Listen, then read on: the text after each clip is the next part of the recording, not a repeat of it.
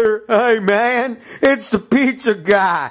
I bring service right to your door.